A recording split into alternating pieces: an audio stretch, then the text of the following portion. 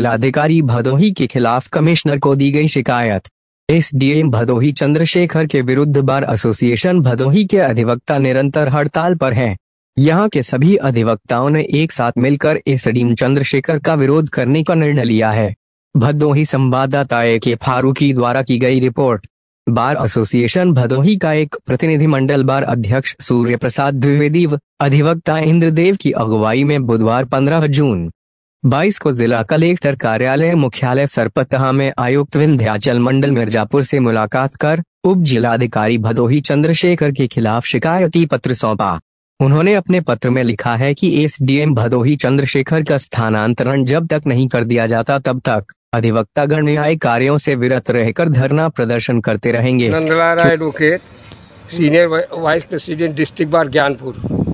मैं एसडीएम भदोही चंद्रशेखर के विरुद्ध चंद्रशेखर जी के विरुद्ध जो वो अधिवक्ताओं का हड़ताल चल रहा है, हम लोग पब्लिक के लिए, उनके गलत फैसलों के लिए, जो उन्होंने वायलेंस किया है, पब्लिक के साथ, जनता के साथ, वकील साहब, उसके खिलाफ तमाम जन जन आंदोलन के तहत हम लोग उनको हटाए जाने की प्रक्रिया के तहत हम लोग आंदोलन रखते हैं ट्वेंटी फोर डेज़ से तहसील मुख्यालय पर।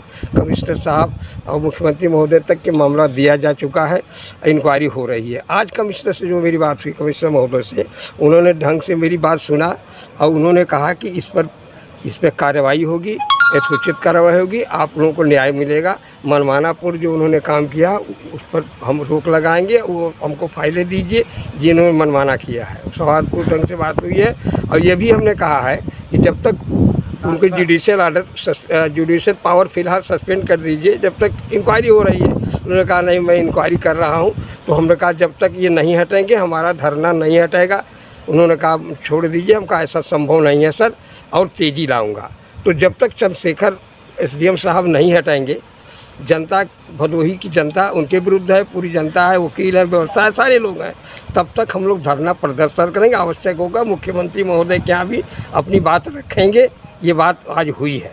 ठीक है। पर दिखाए जाने वाले सभी न्यूज़ से अपडेट रहने के लिए चैनल को सब्सक्राइब करें और बेल आइकन को दबाना ना भूलें। धन्यवाद।